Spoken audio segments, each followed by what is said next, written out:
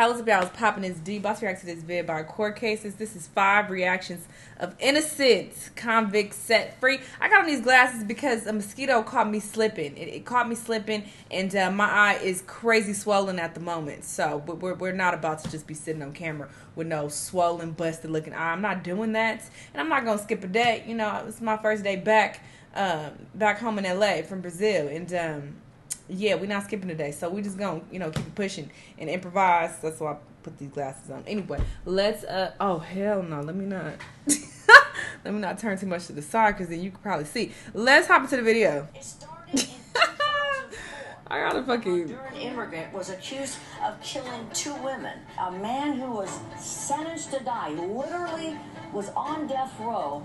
So it's the case of this guy named Clemente Aguirre. And if I tell you this story, you'll say you got to be making it up. It can't be true. 14 years, 4 months, in 19 days. I've been incarcerated. and didn't even do it. 10 years, 3 months of them in death row. Damn. On June 25, 2004, in Altamonte, Florida, 24 year old Clemente was indicted on charges of first degree murder and burglary. A Oh, he was yelling in the he courtroom like, I didn't do this the shit. start, Aguirre Jarquin This is said he up. found the women dead, that he tried to help, and that's how their blood got on his clothes and his oh. footprints. It was a gruesome crime that found his neighbors, 68 year old Carol Bareis and 47 year old Cheryl Williams, stabbed to death. Oh. However, despite Clemente protesting his innocence, police decided he was the only possible suspect and he was sentenced to death. In Damn, the that's 14 fucked years on death row, up. He was trying to help those never ladies. stopped trying to clear his name. And he wasn't wrong either. As it turns out, Samantha, Shell's daughter, prior to the murder, was diagnosed with intermittent explosive disorder.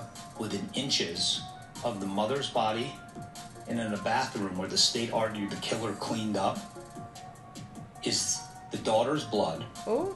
a trail of the daughter's blood going to the bathroom, and then the mother's blood on the outside of the daughter's window. And there's in the doctor's mm. notes, a few years before this happened, where she says to her mother, I'm gonna kill you. if I ever get out of Wow. Kill all of you. Then we find out that she has confessed all over town. We had people coming in all over the place testifying, affidavits that she said, I killed my f***ing mother and my grandmother, I'll do it to you. With such irrefutable evidence implicating Cheryl's daughter, the day finally arrived for Clemente. I do know that nobody believes me. I could know. Besides my mother, nobody believes me. And I Aw. thank you for it. From the bottom of my heart. He holds back tears and immediately heads towards friends Free that man! to celebrate. But today is um, a brighter day. I tell you one motherfucking thing. If y'all send me to jail for some shit I didn't do, for killing some niggas, and and and then let me out, I'm gonna start killing some niggas. Now now I'm a murderer. Now I'm killing people because y'all got me fucked up. Why the fuck you had me in jail and you didn't even have all the evidence that I did this? Now it's time to kill. day This is fucked up. I'm glad he got with out. hopes for the future. This is Devonte Sanford, who in 2007 was sentenced to 37 to 90 years in prison. Damn. A horrific quadruple murder that he did not commit. Quadruple? He was only 14 years old at the time.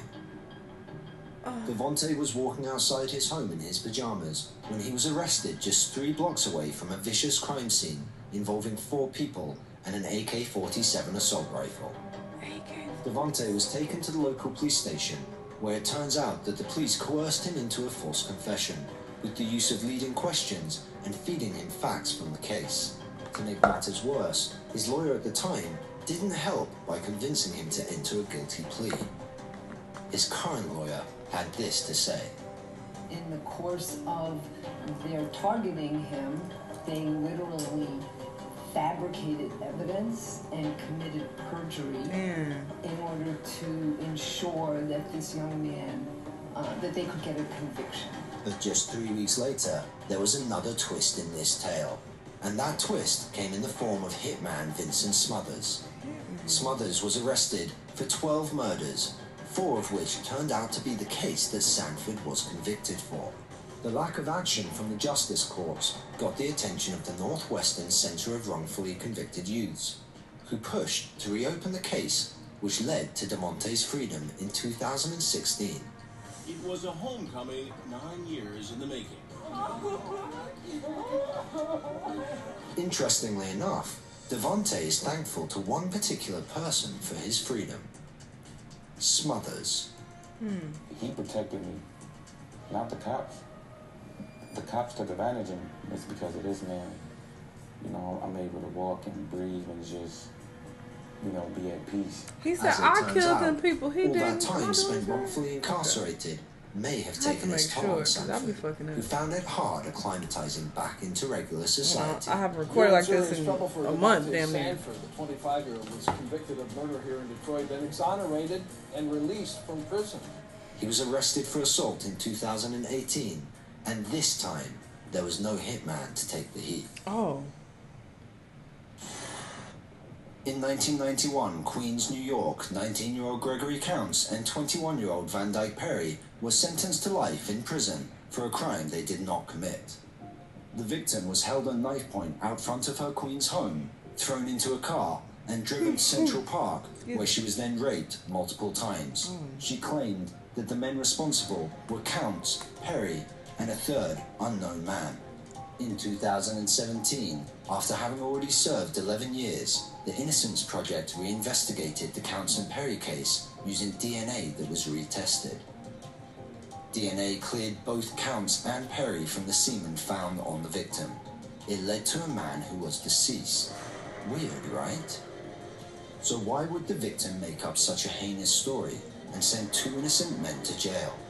The answer will get your blood boiling. The complainant now admits that her boyfriend forced her to lie and falsely claim these men sexually assaulted her. Her boyfriend was trying to avoid having to pay a debt to these two men. What? for a boyfriend avoiding debt. The things we do for money. Yo, broke Let's have a look as both Counts and Perry sit in court, hearing the sweet sound of freedom echoing throughout. They do their best to hold back their emotions. Nah. She needs to go to jail. What's happening to her? Although they are free and reintegrating back into society now, it's clear that this horrible, unjust story will haunt both these men for the rest of their lives. It's never going to be over. The reason why, because it tormented my life and it's my past. 1993, New Jersey.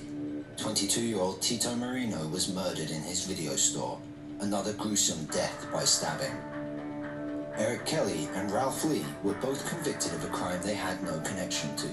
The whole story was put together by police using coercion and a sketchy eyewitness. They then used those statements against Lee, and that's how they nailed their conviction. It wasn't until once again the Innocence Projects got involved in their case that Eric and Ralph felt a bit of hope. and the state has just dug in their heels ever since they refused to investigate this other person, refused to talk to him, didn't look into his history, and instead are just, um, you know, blindly clinging to this conviction at all costs. Damn. Lee was released after 11 years. However, it wasn't until 2018, after having spent 24 years in prison, that Kelly was finally given back his freedom after new DNA evidence was presented to the judge in court. Therefore, I was a foregone reason.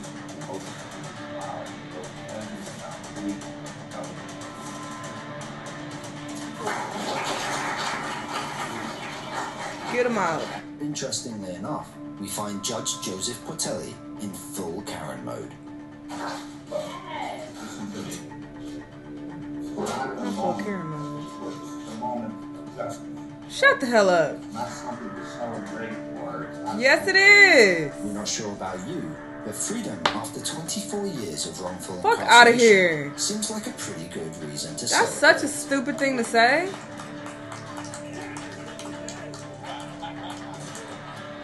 Kelly didn't let this dampen their moods. Both were hungry, high in spirits, and thankful for everyone that had played a part in their release. Mainly, He's I wanna like with a eat. Moment. I'm a little hungry. Um, be with my legal team. I want to thank them. I want to thank my family. Um, first and foremost. Um, it's been a long time. Breathe in. I just don't know. I'm just out of words right now. I'm just feeling good right now. That's all. What would you want someone who didn't know anything about your case to know? I'm an innocent man. I'm an innocent My face ID don't even work. All's well, that ends well. I'm just trying to adjust For my now. thermostat because it's cold now. Right, in the case of People versus Juan Ignacio Catalan, is that your true name? This is Juan Catalan, the man saved by sitcom. An alibi caught on camera, but not in the way you think.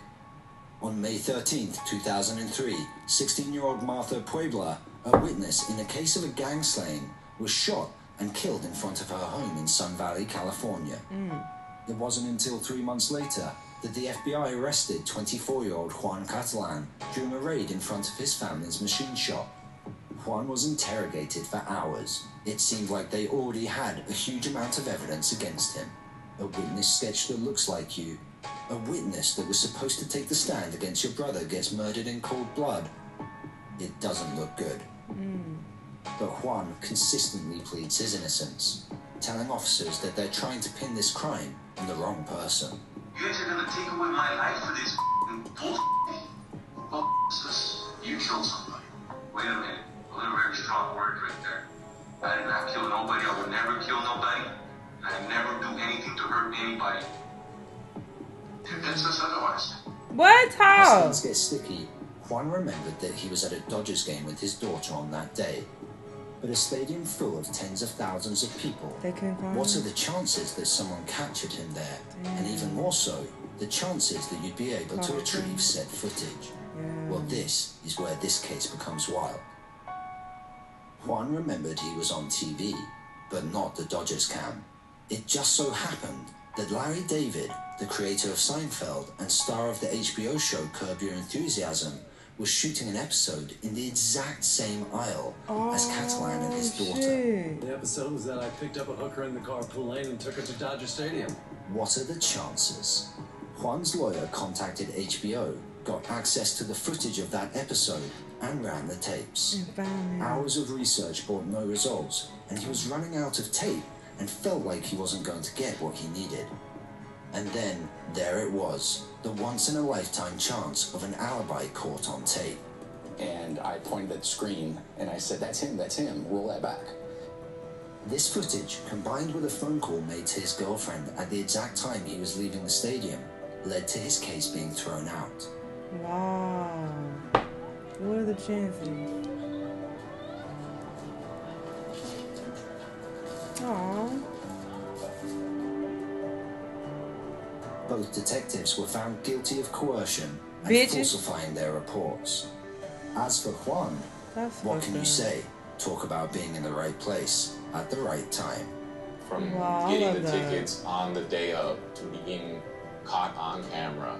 But what are the chances that out of you know 56 58,000 seats that you know they're filming on my aisle you know I look at it like I did win the lottery You did. because I got a new opportunity at life you know with my family Good for him. I'm glad they were able to retrieve that footage and, and set him free. This is real trifling how terrible this legal system is. So many people go to jail who did not commit these crimes. And that one man that they let free and then they said that he got arrested for um, assault some time later. I hope they took it easy on him because you just had him in jail for hella years over some shit he didn't even do. So yeah, he's on edge. He probably got out and was like triggered. You know, somebody probably stepped on his shoes or pushed him or looked at him the wrong way, and he snapped. So you know, cut that man some slack. I don't know what he did, but I stand beside him and uh, I support him in in you know being triggered and, and going off on niggas. You know, hopefully he didn't do nothing too heinous, but if it was just like simple assault and he like took off on somebody or something, then it's like cut that man some slack. Anyway, uh, this is real trifling. Y'all be careful out there. Cause just being in the wrong place at the wrong time could get you convicted of some shit you didn't even do. It's sad. Y'all let me know what y'all thought though. Let me know what other videos you want to watch and I'll see you on the next one. Bye.